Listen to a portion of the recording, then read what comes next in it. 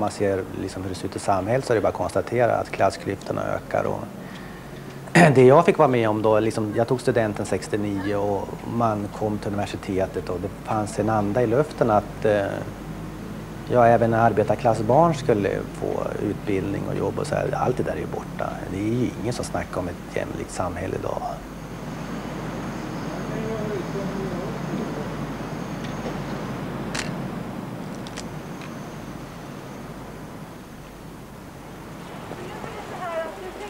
Trogen sina upproriska ideal från 68 vandrar han vidare. Micke Berg, fotografen som för de svagas talan. Han har haft ett 50-tal utställningar och gjort nio fotobildböcker.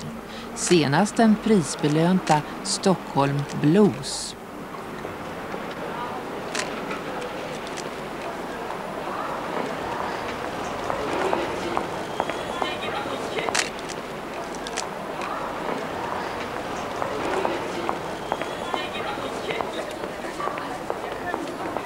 Jag är ju arbetarkille då, och när jag växte upp så kände jag det att det här, den här, jag hade en massa jobb på fabrik, fabriker och så här, och jag tyckte att det var någon form av slaveri. Jag stod helt enkelt inte ute.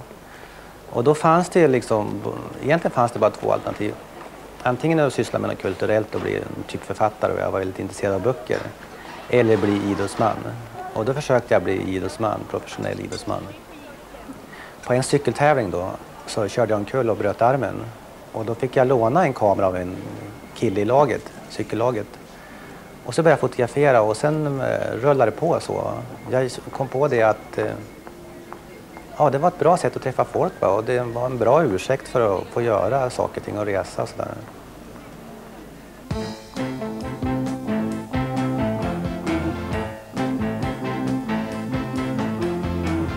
Egentligen gick jag ut och började plåta de här bilderna i någon slags eh, aggression samtidigt som jag försökte skildra en stad och så mitt eget tillstånd givetvis.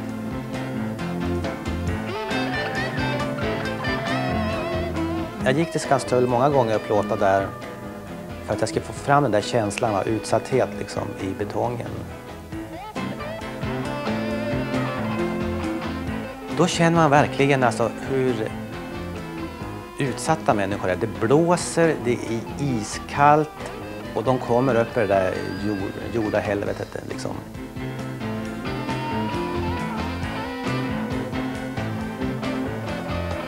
Var en invandrare som satt i en vagn.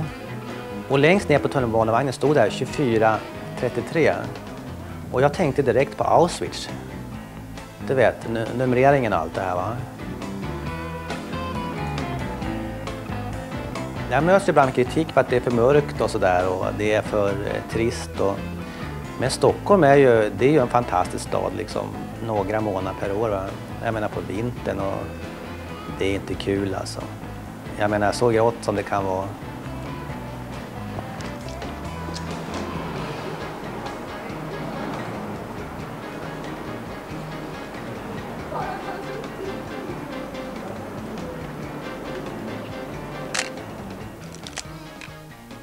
Jag fotograferar liksom, eh, jag gömmer mig inte va, men jag frågar ju inte liksom. Det, jag tar ju mycket bilder utan att folk fattar att jag tagit eller sett det va. Men jag står inte och häckar någonstans i, bakom någon jävla buske och knäpper.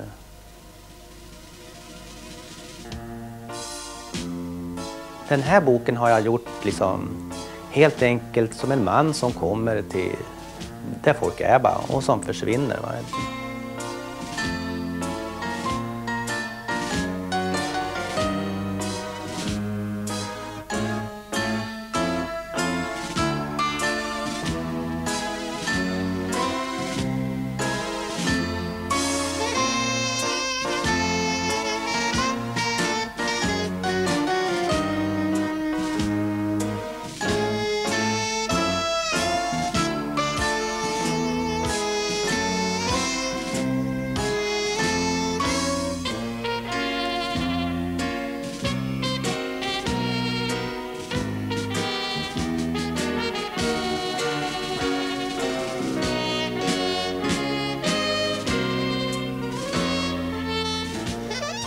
Ja, problemet med fotografi det är ju det att liksom, det är inte som eh, att skriva en bok. En, fot en, fotograf kommer alltid när någonting har hänt. Va?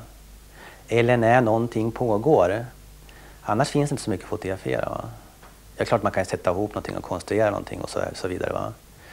Men för att jag ska kunna fungera liksom då, som en samhällsberättare så måste någonting hända. Och det gjorde det under Mullvaden och det gjorde det under Skogsnäs och andra projekt jag gjort. Va?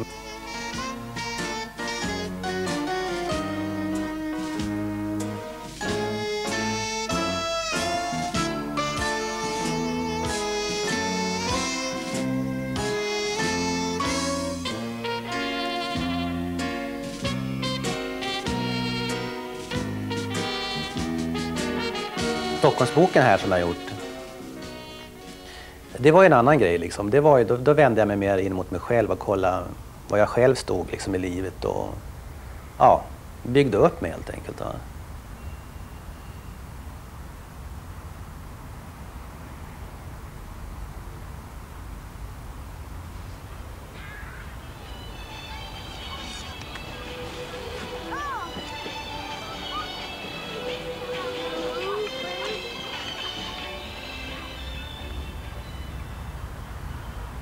Jag plåtar mycket barn alltså. Och, eh, till skillnad från de flesta då så har jag inte tagit några gulliga barnbilder utan jag har varit mera inne på att plåta barns eh, utsatthet. De är faktiskt rätt utsatta i stan.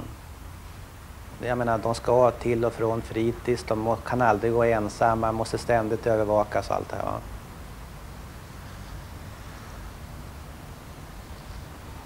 En fotograf ska delta i samhällsdebatten. Det, det är min plattform, liksom, grundläggande plattform.